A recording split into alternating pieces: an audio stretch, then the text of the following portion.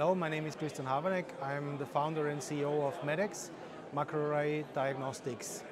We are a company located in the beautiful city of Vienna with a focus on producing and developing uh, diagnostic devices for allergy diagnosis and food intolerance testing. My professional background is I studied molecular biology in Vienna uh, and 2016 I founded the company and since then I'm running it as founder and CEO.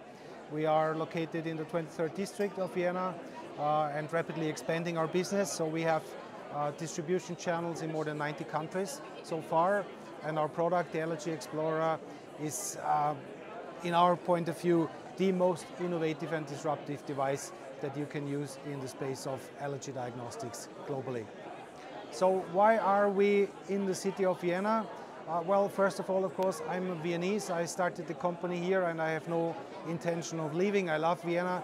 It's the most beautiful city in the world and has the highest quality of life of all cities in the world, according to external review. But apart from that, it's a great place to acquire talent. So it's easy to attract talent either to come to the city of Vienna or they are already here. We have a great pool of life science experts, uh, great educational facilities, and good academic institutions with which you can do clinical research or basic research. So I highly recommend coming to Vienna for that part alone.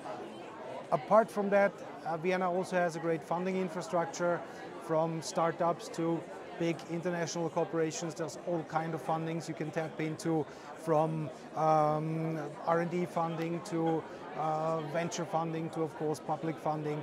There's plenty of opportunity to do good business in Vienna.